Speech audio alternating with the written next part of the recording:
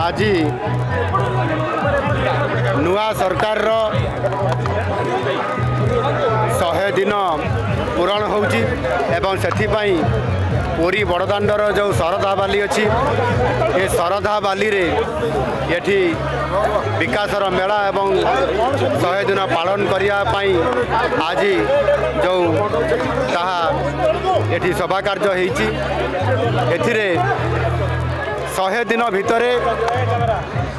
ଯେଉଁ ଚବିଶ ବର୍ଷର ବିରାଟ ଚ୍ୟାଲେଞ୍ଜ ଥିଲା ଏବଂ ଲୋକମାନଙ୍କ ଦ୍ୱାରା ପ୍ରତାରିତ ହୋଇଥିବା ଗତ ସରକାର ଯେତେବେଳେ ଫେଲ୍ ମାରିଥିଲେ ଅନେକ ଜଟିଳତା ଭିତରେ ଦେଇକି ସାଢ଼େ ଚାରି କୋଟି ଓଡ଼ିଆ ଲୋକମାନେ ଆମକୁ ଆଶୀର୍ବାଦ କରିଛନ୍ତି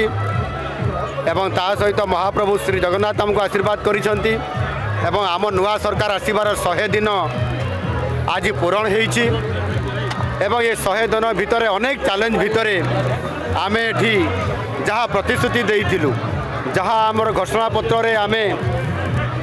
ମ୍ୟାନିଫେଷ୍ଟୋରେ ଆମେ ସ୍ଥାନ ଦେଇଥିଲୁ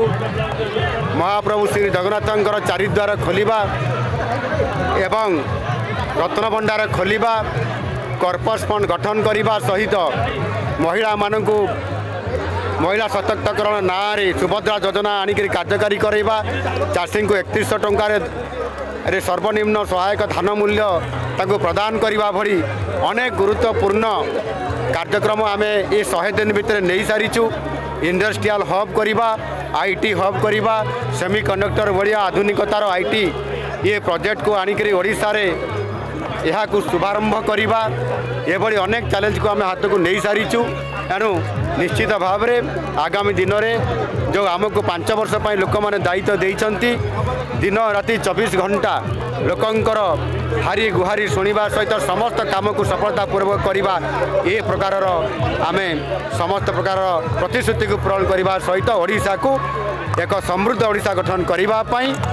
এবং বিকশিত ওড়িশা গঠন করে আমার যে সংকল্প অছি। তাহা আগামী দিনরে আমি নিশ্চিত ভাবে মহাপ্রভু জগন্নাথঙ্কর আশীর্বাদ সহিত আমি পূরণ করিবু। যদি আপনার আমার ভিডিওটি ভালো লাগিলা তেবে আমার চ্যানেলকে লাইক শেয়ার ও সবসক্রাইব করা জমা বি ভুলতু না